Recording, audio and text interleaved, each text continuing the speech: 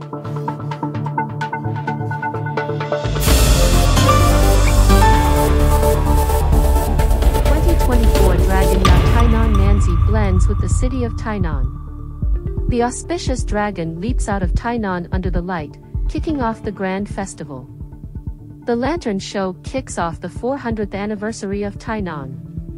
Tainan was recognized by National Geographic Travel magazine as one of the world's coolest attractions in 2024. The other day, it was selected by CNN as the most worth visiting city in 2024. Tainan was ranked among the top two cities in both selections. The only city in Taiwan to be selected, it is clear that Tainan's food and scenic spots have gained international favor. The Taiwan Lantern Festival was selected by tourism industry operators as one of the four major highlight events in the world in 2024.